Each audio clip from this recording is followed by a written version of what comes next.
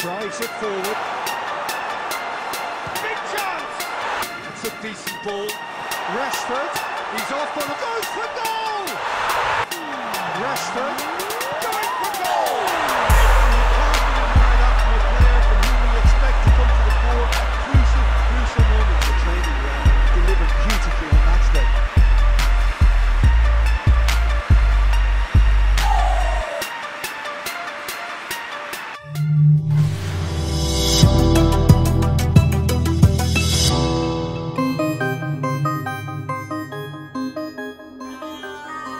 สวัสดีครับทุกคนครับ เรากลับมาในช่วงของรีวิวเวลตันนะครับ คลิปก่อนหน้านี้ผมได้รีวิวลิโอเนลเมสซี่ในเวอร์ชัน Iconic Moment ไปแล้วนะครับ ในคลิปนี้เนี่ย ไม่รีวิวไม่ได้ครับ ไม่งั้นเดี๋ยวเด็กผีโกรธผมแน่นอนครับมาคัสแรดฟอร์ดในเวอร์ชันไอคอนิกโมเมนต์สีเสื้อของแมนยูแน่นอนครับท่านผู้ชม เดี๋ยวเราไปดูว่าจะโหดจะเก่งสักแค่ไหนจะโหดกว่าฟีเจอร์หรือเปล่าไปดูกันครับ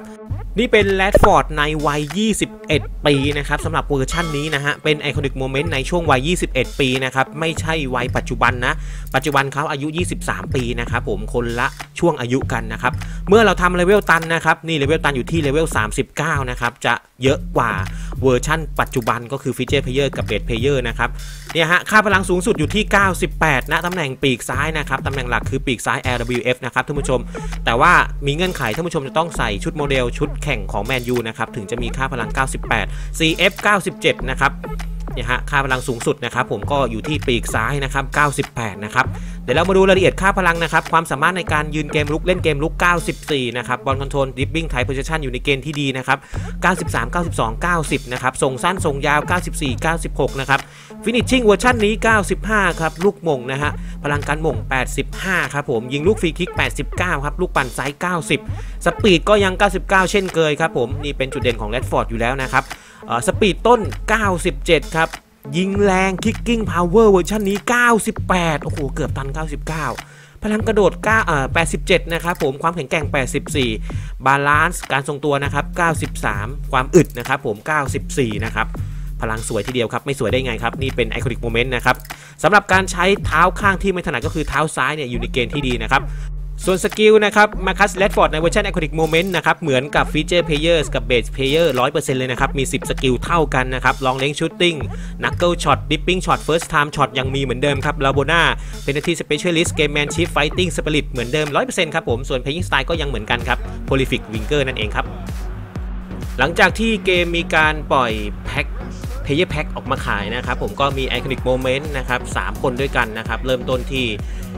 คริสเตียโนโรนัลโดนะครับลิโอเนลเมสซี่แล้วก็มาคัสแรดฟอร์ดนะครับท่านผู้ชมซึ่งก็เป็นที่ฮือฮาเป็นอย่างมากนะครับผมสำหรับสายเปย์นะฮะโดยเฉพาะสายฟรีก็แอบวันๆด้วยนะครับ เพราะว่าเป็นราคาที่ค่อนข้างคุ้มนะครับ เมื่อถ้าเราเอาไปเปรียบเทียบกับการท็อปอัพเติมเพื่อซื้อคอยปกตินะฮะท่านผู้ชมก็ยังถือว่า น่าสนใจอยู่ดีนะครับผมทั้งนี้ทั้งนั้นนะครับมันก็มีคำถามตามมาว่าเฮ้ยในเมื่อซื้อได้คนเดียวนะครับเลือกได้คนเดียวเนี่ยเลือกใครดีฮะอันนี้เป็นคำถามที่ตอบยากเหมือนกันนะครับผมซึ่งมันก็มีปัจจัยแต่ละคนเนี่ยไม่เหมือนกันนะครับ บางคนก็ดูที่ค่าพลังของนักเตะ บางคนก็ดูที่แผนการเล่นที่ตัวเองถนัดแล้ว จะเลือกใครดีนะครับ หรือบางคนนะครับผมก็เลือกที่ เป็นทีมที่รักนะครับเป็นทีมที่ชอบแล้วก็เป็นนักเตะที่ชอบนะครับเพื่อรวบรวมเข้าคอลเลคชันของตนเองนั่นเองนะครับอะแต่ว่าอย่างไรก็ตามนะครับ ผมก็จะพยายามรีวิวให้ครบทั้ง 3 คนนะครับ วันนี้มาดูมาคัสแรดฟอร์ดก่อนนะครับท่านผู้ชม ก่อนอื่นเลยนะสำหรับแรดฟอร์ดเนี่ย ผมก็เคยรีวิว Featured Players ไปก่อนหน้านี้เมื่อไม่นานมากนักนะครับ ตอนแรกก็ลังเลอยู่ว่า เอ๊ะจะรีวิวต่อหรือเปล่าครับสำหรับ Iconic Moment นะฮะเพราะว่าเคยรีวิวฟีเจอร์ไปแล้วสำหรับแรดฟอร์ดนะครับแต่ว่ามันเป็นเวอร์ชั่นที่แบบ กลายพันธุ์อะเป็นเป็นสายพันธุ์ใหม่นะครับ เป็น Iconic Moment ครั้งแรกของเขานะโอ้โหชอบท่าดีใจจังหวะนี้มากครับ ก็เลยต้องรีวิวให้ดูหน่อยครับท่านผู้ชม เพราะว่ามันไม่ใช่ฟีเจอร์ปกติเนาะเนี่ยครับ ทีนี้คือแพทเทิร์นค่าพลังของแรดฟอร์ดอะบอกตรงนี้เลยนะครับ ไม่ได้แตกต่างจาก Featured Player เท่าไหร่นักนะครับ ผมพูดถึง pattern นะครับ ไม่ใช่ค่าพลังรวมนะ pattern หมายถึงว่าเขามีจุดเด่นยังไงนะครับ มีจุดอ่อนยังไงนะครับ ไม่ค่อยแตกต่างจากฟีเจอร์เลยนะครับ ผมก็คือมีความเร็วสูงนะครับ มีการยิงไกลที่ดีนะครับ มี skill ที่สนับสนุนในการยิงจากนอกกรอบเขตโทษที่ดีนะครับท่านผู้ชมแล้วก็หลายคนนะฮะ ชอบที่จะเอาแรดฟอร์ดมายืนเป็นหน้าเป้า CF นะครับไม่ว่าจะเป็นแผนหน้า 2 คนหรือว่าแผนหน้าคนเดียวนะครับผมก็นิยมใช้แรดฟอร์ดมายืน CF อันนี้คือแพทเทิร์นของแรดฟอร์ดทุกเวอร์ชันเป็นอย่างนี้อยู่แล้วนะครับแต่ว่าสิ่งที่มันแตกต่างผมอยากจะให้ดูค่าพลังนี้นะฮะค่าพลังที่ท่านผู้ชมเห็นอยู่หน้าจอนี้นะครับ ด้านซ้ายมือนะครับ จะเป็นมาคัสแรดฟอร์ดเวอร์ชัน Iconic Moment ที่เรากำลังรีวิวอยู่นี้นะครับผมส่วนด้านขวามือจะเป็นแรดฟอร์ดที่เป็นเวอร์ชัน Featured Player ที่ผมเคยรีวิวไว้ก่อนหน้านี้นะครับ ที่ผมบอกไว้ก่อนหน้านี้นะว่าค่าพลัง pattern ไม่ได้ต่างกันนะครับ เพราะว่าแรดฟอร์ดเนี่ยจะมีจุดเด่นในเรื่องของความเร็วอยู่แล้วนะครับผมเวอร์ชัน Featured Player ก็ speed 99 นะครับ เพราะฉะนั้นเวอร์ชัน Iconic Moment นะครับผมคงไม่ได้ speed มากกว่า 99 เพราะมันเต็มที่อยู่ที่ 99 อยู่แล้วนะครับ แต่ว่าความสามารถด้านอื่น ๆ นะฮะมันจะสูงกว่าเวอร์ชัน Featured Player แน่นอนครับ ยังไงก็ต้องสูงกว่านะฮะ เพราะว่าเป็นเวอร์ชันที่เราต้องซื้อนะฮะท่านผู้ชมยังไงก็ต้องดีกว่าอยู่แล้วนะครับ สิ่งที่มันดีกว่ายังเห็นได้ชัดเลยนะครับ ก็คือเรื่องแรกนะครับ finishing นะฮะท่านผู้ชมคือเวอร์ชัน Iconic Moment เนี่ยยิงตรงกรอบได้ดีกว่าเยอะมากนะครับ finishing สูงถึง 95 เลยทีเดียวครับท่านผู้ชม ในขณะที่ Featured Players เนี่ยสูงอยู่ที่ไม่ถึง 90 อะ 80 ไปปลายนะครับผม ส่วนทุกเวอร์ชันก็ไม่ถึง 90 นะครับ ส่วนใหญ่ แต่เวอร์ชั่นนี้นะฮะ finishing 95 ยิงคมกว่าเดิมเยอะเลยท่านผู้ชม บางคนอาจจะไม่ได้สังเกตเนาะ เพราะยังไงเพราะว่า แรดฟอร์ดก็มีความเร็วอยู่แล้วเหมือนกันทุกเวอร์ชันนะครับ แต่ที่มันเพิ่มขึ้นอย่างเห็นได้ชัดก็คือ finishing ครับ การจบสกอร์ยิงคมกว่าเดิมเยอะเลยนะครับ อันนี้เป็นค่าพลังที่แตกต่างกันค่อนข้างเยอะนะครับ รวมถึงเอ่อ kicking power นะครับ เวอร์ชั่นนี้นะฮะ ยิงแรง 98 อะ โอ้โหแล้วเป็นเป็นปีกที่มีความเร็วสูงแล้วยิงแรงขนาดนี้อะโหดน่าดูท่านผู้ชม คล้ายๆ กับเอาโรนัลโดมาติด speed นะครับท่านผู้ชม โรนัลโดเป็นนักเตะที่ยิงไกลดีๆ ยิงไกลหนักอยู่แล้วนะครับ แต่ว่า speed อาจจะไม่เร็วเท่าไหร่ แต่ว่าเหมือนเอาโรนัลโดมาติด speed อะ Featured Player เวอร์ชันก่อนหน้านี้ เกือบทุกเวอร์ชันนะครับ ไม่ได้ยิงแรงขนาดนี้นะ เออ บอกไว้เลยนะท่านผู้ชม เหมือนเอาโรนัลโดมาติด speed อะย้ำอีกทีหนึ่งนะฮะท่านผู้ชมทำให้แบบ